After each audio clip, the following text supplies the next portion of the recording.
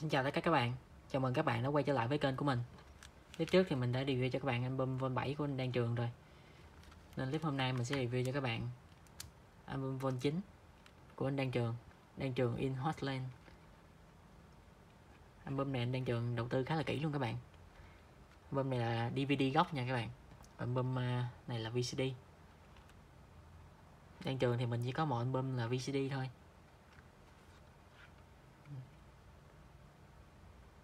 Đây là những ca khúc của anh Đan Trường trong album này. Đầu tiên là giới thiệu. Em còn nhớ anh. Tin nhắn. Hãy về đây bên anh. Tự hỏi lòng. Phần bài số 7 là phóng sự. Hotline phần 2 là Tết đến. Khúc biệt ly. Thế giới hoàn mỹ. Nói cho anh nghe về em. Đây là bài số 12 là trên đường quay video clip. Mình rất là thích xem ờ, những clip hậu trường như thế này các bạn. Đây là tem của cục nghệ thuật biểu diễn nha. Album này thì mình đã không còn ờ, sách bìa ảnh nữa các bạn. Có tặng riêng nữa nhưng mà mình không có còn. Tại vì ờ, mình lúc trước mình dán lên tường nữa các bạn. Sau này thì mất hết.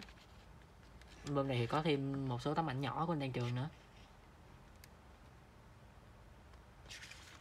Hình ảnh của anh trường trong album này rất là đẹp luôn các bạn. Trước thì mình có thêm một số album của anh Đan Trường nữa, nhưng mà mình bị lạc rồi các bạn.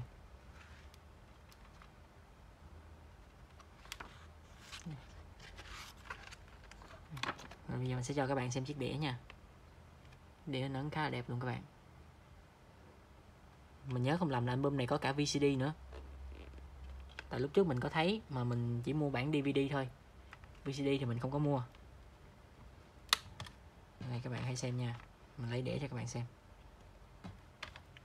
Đĩa rất là đẹp luôn. Còn rất là mới luôn các bạn.